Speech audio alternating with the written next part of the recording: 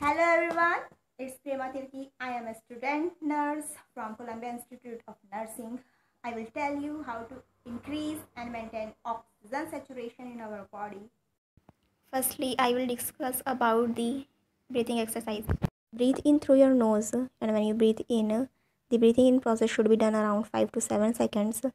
Breathe out through your mouth and when you breathe out, the breathing out process should be done around 9 to 10 seconds. The breathing out process should be slower. It will help you to increase your oxygen saturation level. Now I am going to tell you about a particular sleeping position. As you see in this picture, lay down like that. Keep one pillow below your neck bone. Your head should be below your body level. Keep the second pillow below your pelvis area. Remember your belly shouldn't be pressed due to the pillow. Keep the third pillow below your foot as shown in this picture. Be in this position for around 13 minutes. This will increase your oxygen saturation level.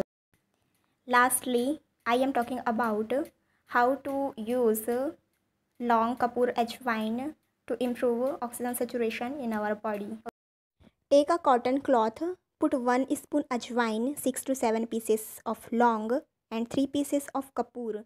Tie this and keep it with you and smell it from time to time.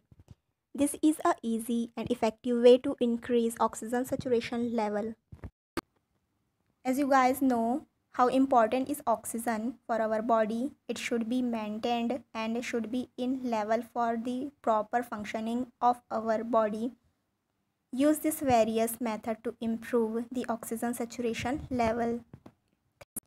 I hope you guys are doing well and don't forget to follow the safety measures and keep yourself safe.